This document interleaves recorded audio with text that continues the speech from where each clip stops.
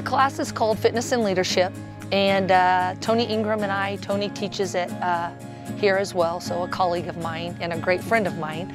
Um, we just saw a great value in trying to teach young people the value of being leaders.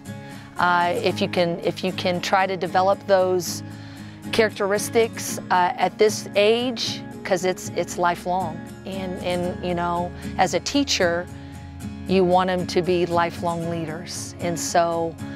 Uh, we just found it to be such a great value and, and, and, it, and it's so important to us as coaches you know, because I think you're always striving to develop your athletes or develop your students to be better leaders. The leadership portion is the portion I love. That's where that's my passion. And then of course, you know, the fitness piece came into play where just kind of like a lack of, we felt kind of a, almost like a lack of um, that being taught to the Manhattan community. We didn't know what kind of um, uh, response we would get, and it, and it, was a great response. I think we had to turn kids away because, as you can see, the room's not big enough.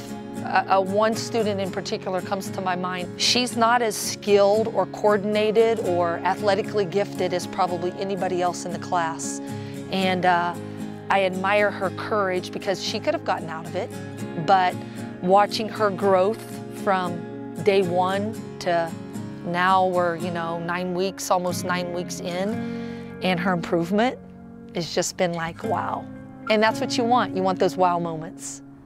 And she is just one in particular that um, it's been so awesome to see her and, and, and her peers embrace her and, and encourage her. I think we're just going to expand and, and run with this thing and, and teach and teach as many different like lifts and that we can, but we just need more equipment to do that.